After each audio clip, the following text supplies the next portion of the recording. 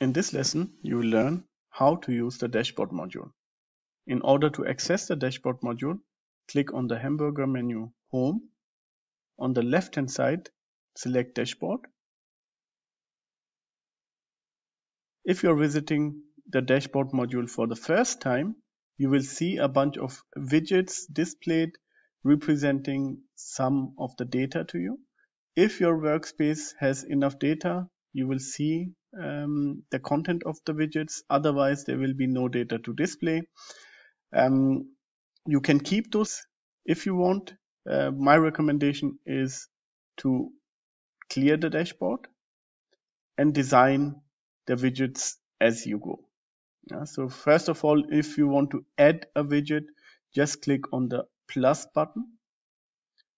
On the plus button, you can see we have in total, as of now, 53 widgets, which are again divided into different categories. You have here a search box if you want to uh, search for any kind of uh, widget um, based on a specific entity. You can select it here or you can type another entity to display the widgets by keywords you are looking for. Um, you have also the, the widgets divided into different categories on the left hand side. So you have for tracking progress, in total we provide 11 widgets for release burn up, burn down charts, forecast charts. You have same for iteration burn up, burn down charts, cumulative flows um, are provided, velocity tracking, uh, as well as control chart. So if you want, just select one of those by double clicking on it and it will directly appear into your dashboard. You can do the same with all the desired charts you are looking for um, from the different categories. So let's say we select here feature quality status as well and one more chart which could be uh, maybe here the quality and we go for the heat map and now you can you have a set of charts here what you can do as the next step is you can decide on the layout how you would like to represent those. So you can select a 25 50 to 25 uh, layout um, and you can move those charts around if you want. So they will be displayed as uh, you have selected here in the options. For the dashboard layout you can go for a 50-50 or 100 and then divide it into three columns. So you can say I would like to have one chart on the top, which could be maybe the quality uh, application module chart.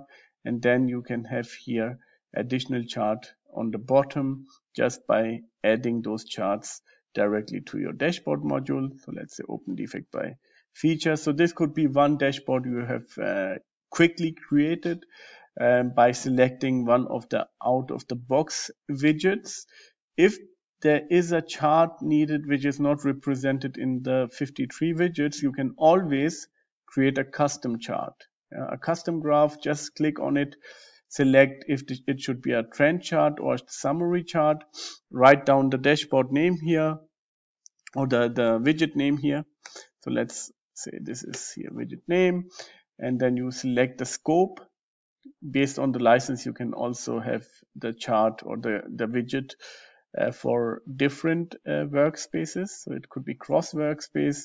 Select the correct entity you are looking for. So basically the majority of all entities are provided here. Um, just select the one you are interested in. So let's go for defect. You can optionally select here a release as well. So if this chart should be release specific, just select the correct release here uh, as well as iteration and cycles.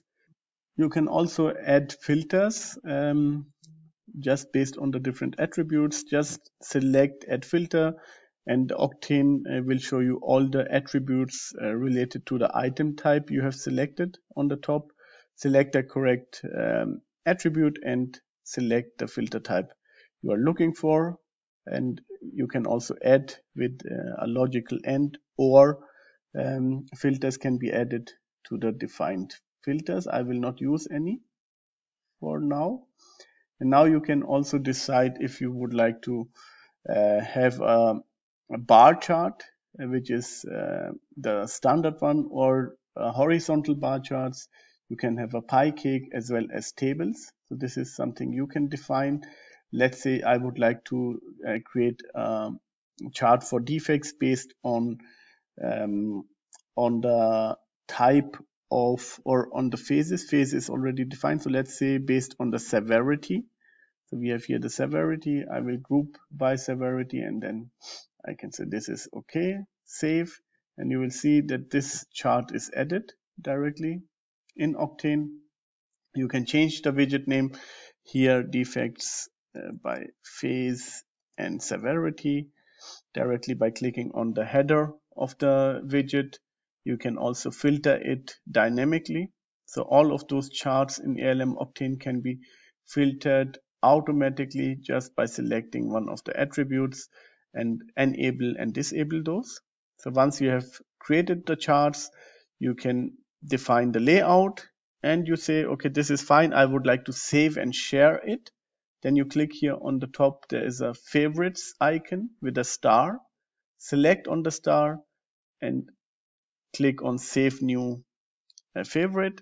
And here you can see this is the uh, overall uh, dashboard uh, page for release X, yeah, 1.x or x.x.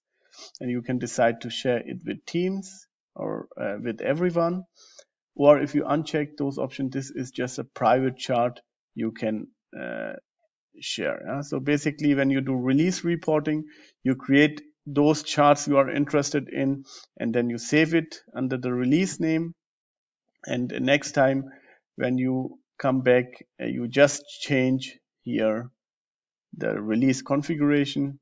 So you can decide here what is the release configuration.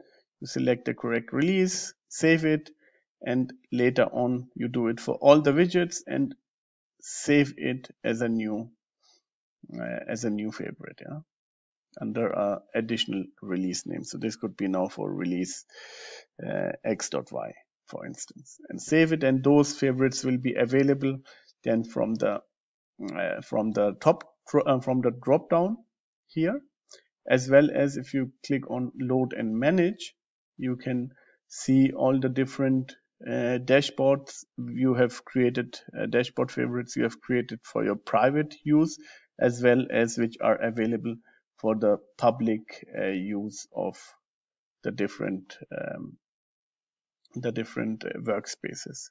And if you want to load one of those uh, widgets, you can just click on load and it will load exactly those kind of widgets you have created as part of your dashboard page. The last five widgets or the, the last five uh, dashboard favorites will be displayed here under the drop down. So that was a quick introduction to ALM Octane dashboard module.